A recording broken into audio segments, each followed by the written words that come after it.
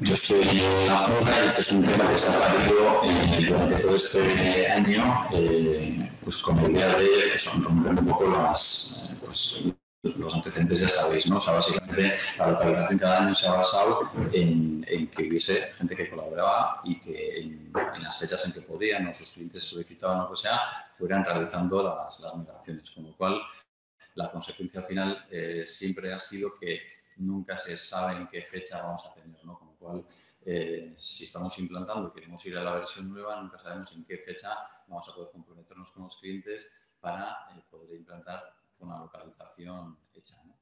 Los plazos ya sabéis, en octubre se saca la versión, en enero todavía solemos andar con dudas, etc. Entonces, la idea este año fue eh, lanzar que, la asociación impulsase la, localización de alguna forma. O sea, no teníamos claro, se había debatido durante años el tema, nunca se había llegado a un acuerdo y bueno, pues esa fue un poco la, la tesitura con la que empezamos. ¿no? Eh, básicamente el objetivo era conseguir una cobertura X con un porcentaje alto de módulos y con un plazo que se hubiese garantizado. Que supiésemos que el 1 de enero estuviese esto, el 1 de marzo estuviese esto etc.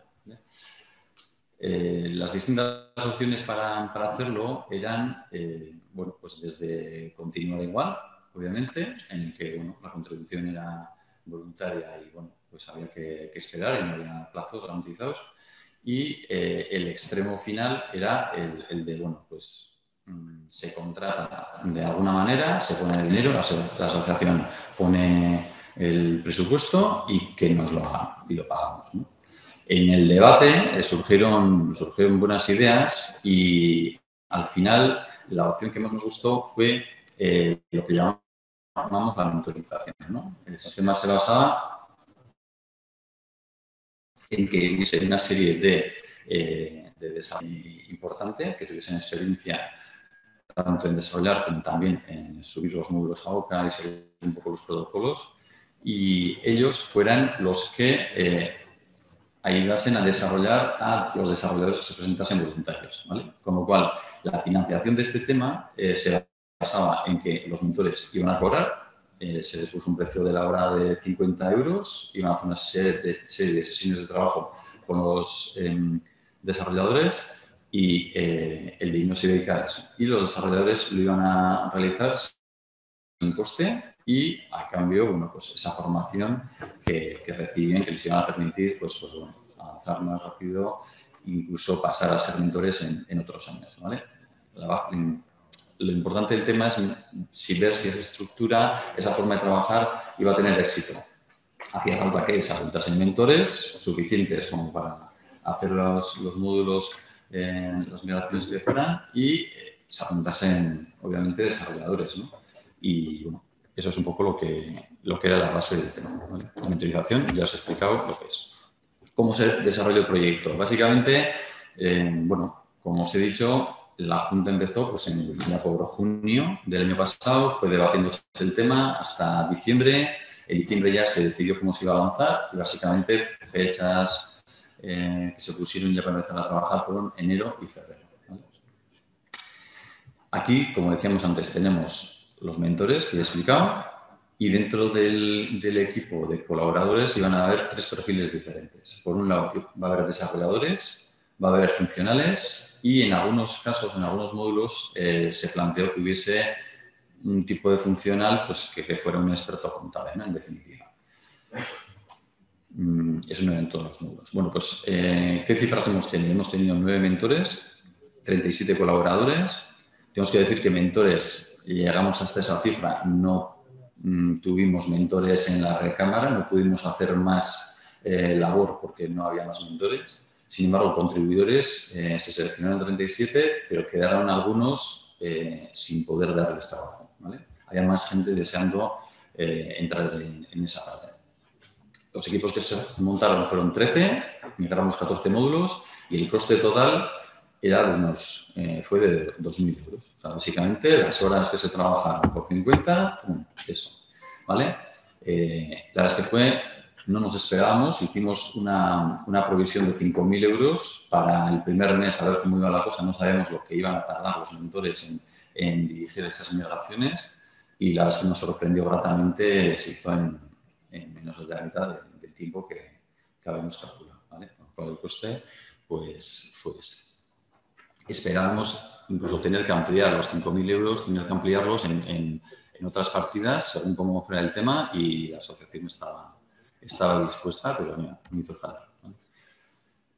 una pequeña foto de los datos que, que puedo sacar, porque tampoco tenemos datos así como muy, muy... Eh, pues no tenemos datos por meses, ¿no? Lo uno sería que cada uno de cada mes tuviésemos eh, información exacta de cómo están eh, las coberturas y demás, pero bueno, básicamente de los boletines electrónicos que, enviamos en su momento, que son los datos más, fiables que tenemos, en la 14, para que os hagáis idea, en abril teníamos esas, esas coberturas.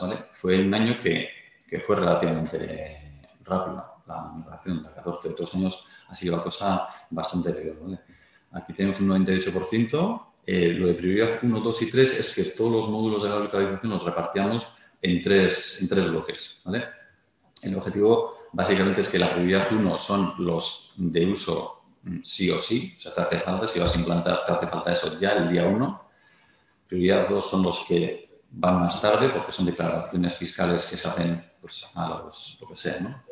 a finales del trimestre o bueno, hay más tiempo para que, para que entre. Y prioridad 3 serían o bien muy de final de año o, incluso son módulos que, que bueno, muchos no son necesarios. Bueno, pues en, la versión 15 para el, proyecto este lo que hicimos fue partirlos en cuatro, en cuatro prioridades distintas. Esto se, se, consensuó con los PSCs, eh, se cambiaron algunos de, bloque, pero bueno, al final eh, la foto fue un poco esta. Y ya veis que el 11 de febrero ya teníamos un 91% de los de prioridad ¿vale? Esto en sí no es eh, la medición del proyecto. Esto es mm, una idea de que bueno, la, cosa, la cosa fue, fue rápido y, ya está. ¿no? Lo importante es eh, pues lo que va a pasar en los próximos años. ¿no? Luego contaremos un poco en, las conclusiones, explicaremos un poco la expectativa que tenemos para, los futuros años. ¿eh?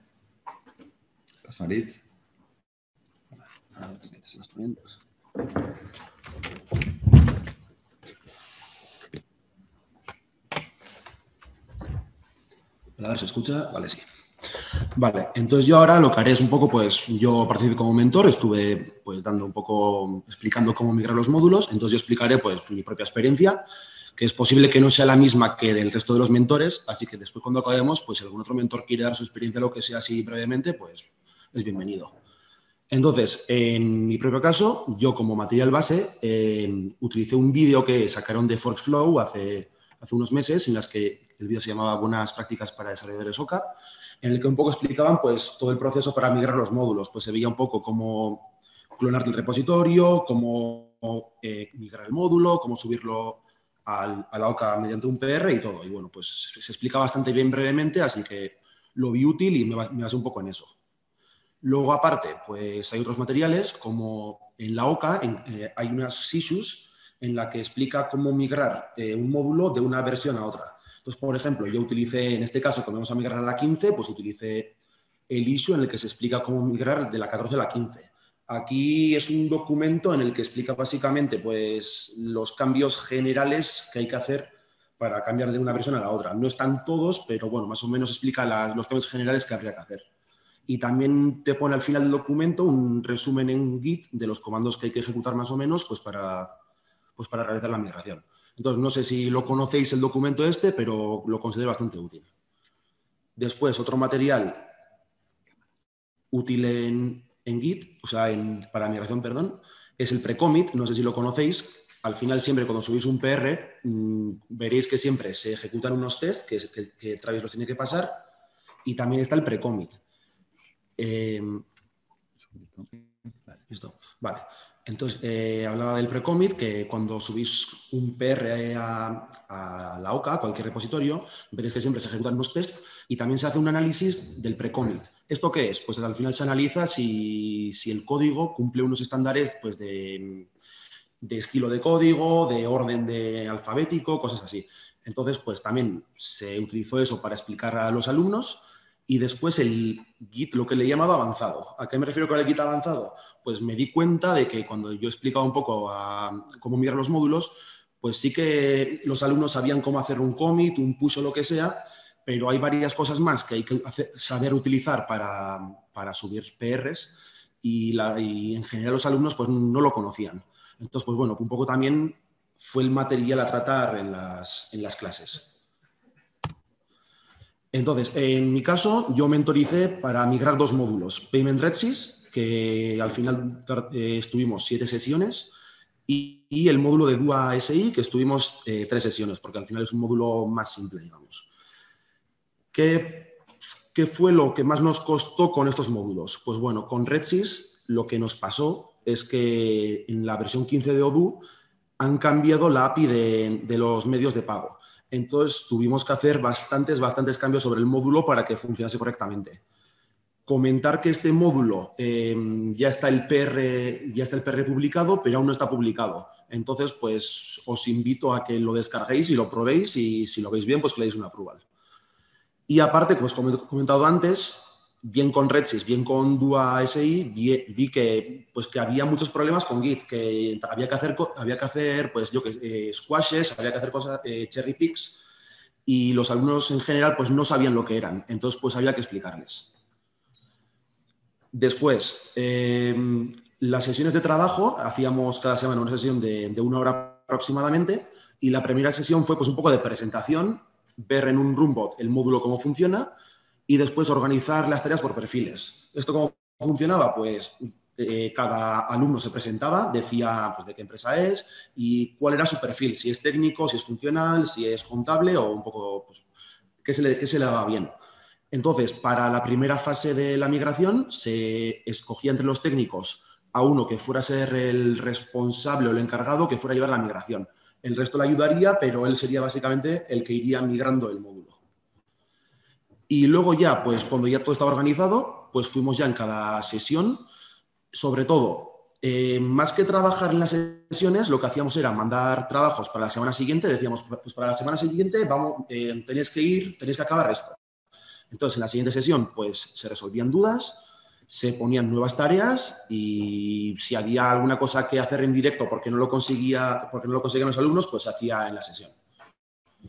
Y por último, pues en la última sesión, que ya lo damos por cerrado, cuando ya estaba el módulo probado y ya en un PR con, con todas las aprobaciones de, Travis y del pre-commit, pues ya lo dábamos por acabado y ya pues lo publicábamos y escribíamos ya en Discord pues para, para que la gente lo probase y le diese una approval.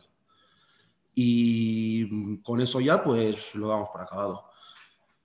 Entonces, pues yo así, mi experiencia la cuento así, entonces como he recordado, como, he dicho antes, pues si alguien cuando acabemos quiere un poco contar su experiencia, algún otro mentor, pues es bienvenido.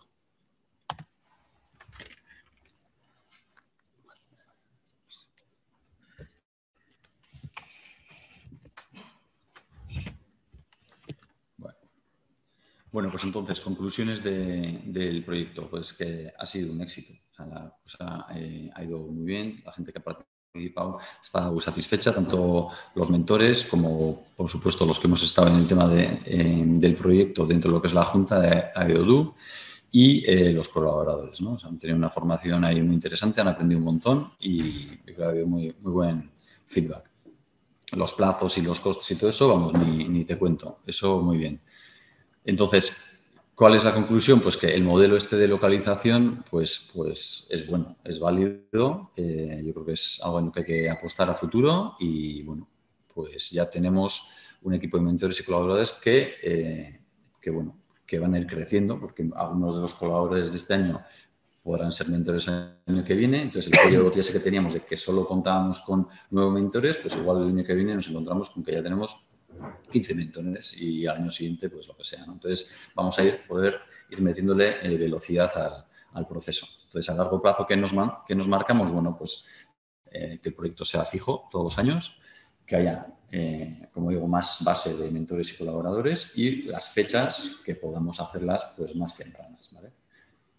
Ya iríamos marcando, pero bueno, yo creo que objetivos buenos serían pues, que el bloque de prioridad 1 estuviese el 1 de enero, dos meses después el bloque 2, dos meses después el bloque 3 y dos meses después el bloque core, por ejemplo, ¿no? alguna, alguna cosa así. Otra cosa muy interesante que deberíamos intentar con, el mismo, con la misma estructura o con otra a debatir, pero bueno, viendo que esta funciona, es que tenemos abandonadas, bueno, ya sabéis que hemos estado peleando estos días con, con lo que es el Ticket Buy y el Batus, eh, hemos estado bastante gente con eso aquí en estas, en estas jornadas, bueno, es algo que está un poco olvidado. Las tiendas forales de Euskadi y de Navarra, eh, no sé si sabéis, pero bueno, aparte del Ticket Buy y el Batus, que son cosas mm, específicas y que eran de obligado cumplimiento, hay un montón de cosas más que no tenemos. Así como todos, todos los modelos que hay para la AEAT, pues no hay nada de eso prácticamente para, para nosotros y sí que hay muchos de esos que los modelos de la AEAT, las haciendas forales los aceptan. han puesto unas herramientas de importación y, y con eso vamos resolviendo. ¿no? Pero bueno, habría que darle una real. Y de Canarias nos llegamos. O sea, Canarias eh, están, están olvidados. De mano de Dios, habrá que intentar hacer un proyecto con ellos y llevar el tema con seriedad y que la asociación se, se involucrase también en el tema y, bueno, obviamente tendrán que liderar algunos de los partners canarios, pero, pero bueno, eh, que impulsemos todos también, ¿no? Y la asociación como, como tal, ¿vale? Y nada más. ¿Alguna duda? ¿Algún mentor? ¿Algún mentor que quiera contar lo suyo? ¿Cómo le ha ido?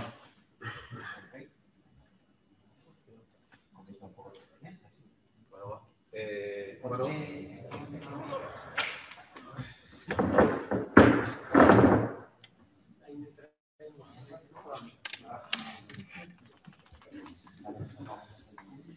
Bueno, a ver, eh, yo fui mentor de la parte de la factura electrónica, también eh, es un día un poco especial. ¿Ves capaz? Eh, más que nada porque tiene su complejidad, tiene muchas cositas técnicas, tiene un framework por debajo que es complejo. nosotros, bueno, sí que yo creo que todos podríamos haber, en mi caso, yo creo que yo podría haberlo hecho de forma distinta o tal vez más estructurado. Pero bueno, también ha salido hacia adelante. Hemos, en nuestro caso, incluso pues, hemos hecho merch eh, de cosas que no son solo de la localización, sino que afectaba cosas de fuera, como todo el framework de, de Edit, todo el sistema de plantillas, web services, etc., que ya era complejo de por sí. Sí que es verdad que en el caso concreto nuestro, al ser tan técnico, costaba un poco y, y quedaba muchas cosas que no se podía ver nada hasta el final y eso creo que provocó que costara un poco ver resultados. O sea, no tanto por mi parte, que yo al final como la parte técnica la dominaba, la problemática para mí, sino que parte yo creo del equipo pues, era un poco transparente hasta que no llegó al final. Y eso está así, ahora veo cómo se enviaba fácil, cómo eso le genera una factura, etc. Pero bueno, que al final sí que ha sido positivo, creo que servirá para conseguir pues, gente que se meta en módulos que al final no son, no son tan normales y que no son tan habituales también, ¿no? Y todo lo que sea bueno para la, OCA y de obtener más gente, pues creo que es muy positivo. Por menos mi opinión.